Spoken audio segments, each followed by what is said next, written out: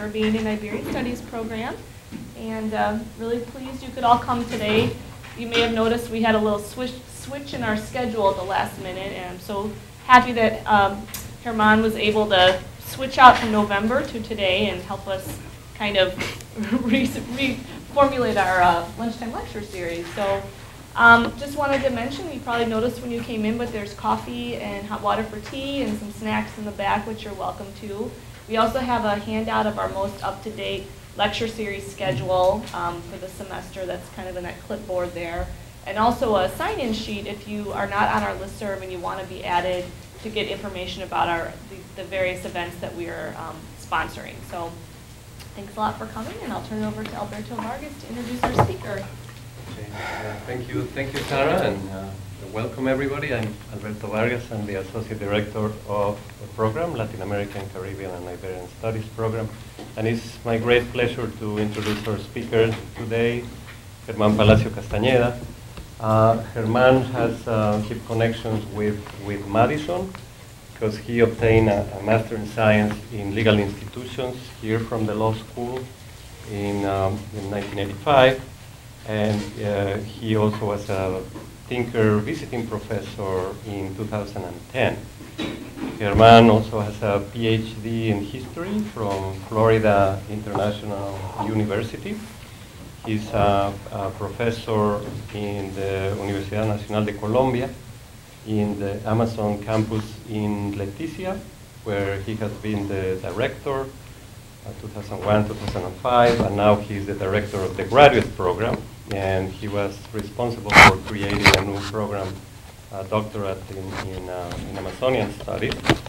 Uh, he's a prolific writer. He has many publications, uh, a couple of uh, edited books, one of them, The Political Ecology in the Amazon, and uh, dozens of, of papers and, and publications, peer review articles. So it's my great pleasure to receive Germán, who's going to talk to us about how Amazonian, Pan-Amazonian is changing with the world. Welcome, Herman. Okay.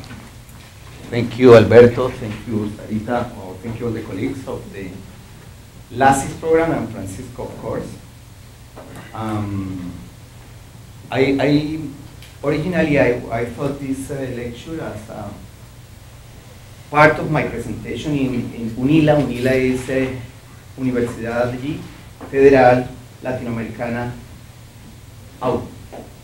Uh, something that I don't remember exactly that is in Foz de Iguazu, but it's interesting.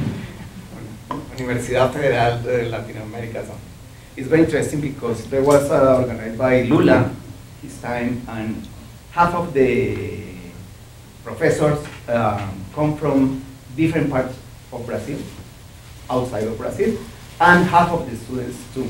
So I put together some ideas and it was related to the relationship between Amazonia and globalization. So I took this opportunity to improve a little bit and I hope that all the problems that the presentation have you will help me improving with ideas or saying nonsense or whatever you, you think is important. So let's start. Um, Nowadays, or since the last decades, the global audience used to simplify Amazonia. But Amazonia has been simplified in very different ways. It's a very interesting topic for research for people in literature or the people who study metaphors. But let's say Amazonas since the beginning, these women warriors, El Dorado, Lost Paradise, Green Hell, or Red Desert. All of these are metaphors about the Amazon. But in the last two decades or three decades, I would say that there is a global imaginary about the Amazonia with the two particular, uh, um, let's say, driving forces that put that kind of metaphor in the mind of everybody in the world. One is the global environmental agenda and the Rio Summit in, in 1992, and second, the commemoration of the invasion of contact, or whatever is the name, between Europe and the New World in 19, 1992. Um, I would say that since then, environmentalists, indigenous activists, And scholars have realized that it's much more important to understand the Amazonia as a whole rather than the fragmented Amazonia, fragmented because of the of nation states. Is we have in reality a very big, a huge so socio-biome.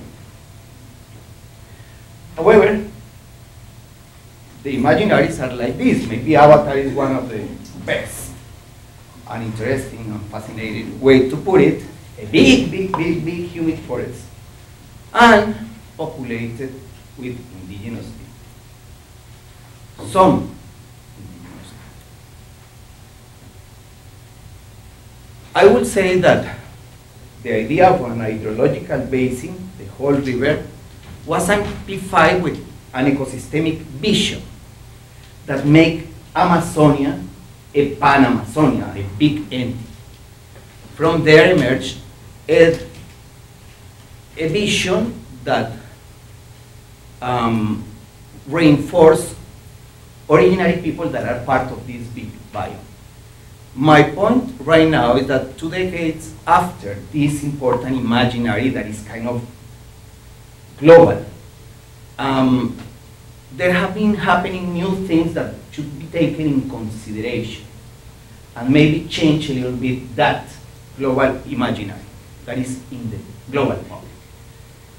However, before I keep going, I have to say that fragmented Amazonia has a lot of inertia because, of course, the existence of nation states, territorial nation states. this nation state, despite globalization, not always has been weakened, but some of them have been strengthened, in fact. this is the way, more or less, we can change that. We understand now Amazonia. It's like the big forest, that part that is the Indian, the Andean Amazonian region, and this southern part that is kind of a little savanna sort of landscape. But it's anyway big. Some people will move this line through to this point and this point, so even Amazonia could be bigger. For example, the Venezuelan Amazonia in reality is that kind of Orinoco landscape that is that has continuity with the Amazonian forest, but from the hydrological point of view is more like Orinoco. Um, from the smallest Amazon, we are moving to the, the understanding of a pan-Amazon region. And I put this, the Amazon River does not start in Manaus, it's because it's kind of common, or, or it was, for Brazilians to think that, oh, I'm sorry, to think that Amazonia, Amazonas is that river that is the confluence of Solimões, they call, what we call in Peru and in Colombia Amazonas, and they call Solimões, and the, um, the black, let me see where it is, maybe it's this, no, I, I don't see here. Ah, maybe it's this. Yes, this is the Rio Negro, which is called in Colombia Rio Negro and Vaupés. in the 19th century, it was very important to think on the Amazon region, on the Amazon River, as part of just one country. It was part of the global dispute between countries like England, and the United States, saying if the river is part just of, of one country, it's an internal river. But if it goes through several countries, that is an international river, and then there should be free trade.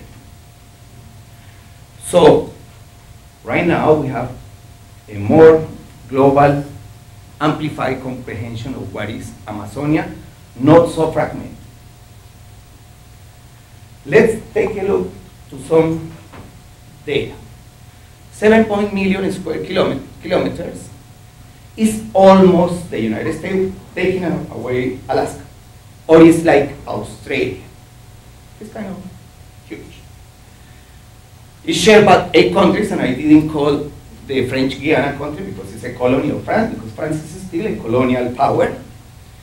Protected areas, 23%, in indigenous territory, 26, and if you add two of these, it doesn't give you the exact number just because many of the protected areas with some sort of environmental uh, principle working on it, it intercepts with resguardos or reservas, with reservations of indigenous people.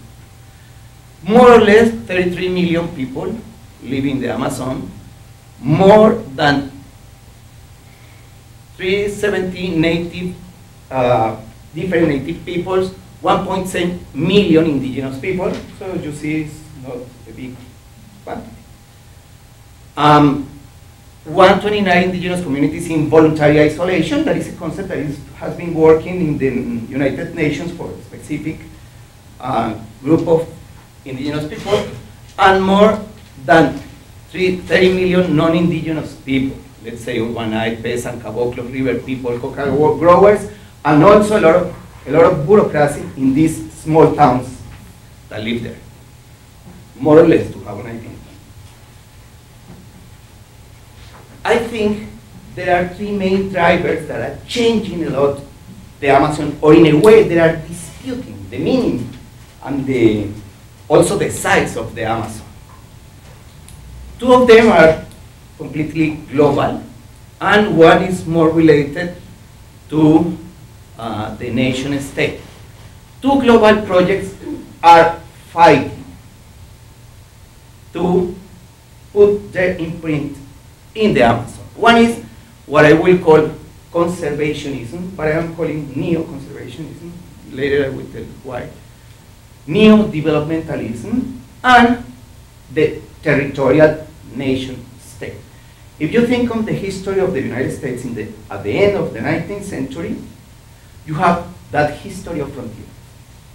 So what you have at the end of the 20th century in the Amazonia is a history of frontiers. Not necessarily or not only the international borders, but the idea of frontiers. So uh, the idea of one uh, social entity, let's call nation, growing and catching the territory. Pan-Amazonia is experiencing the effects of these driving forces.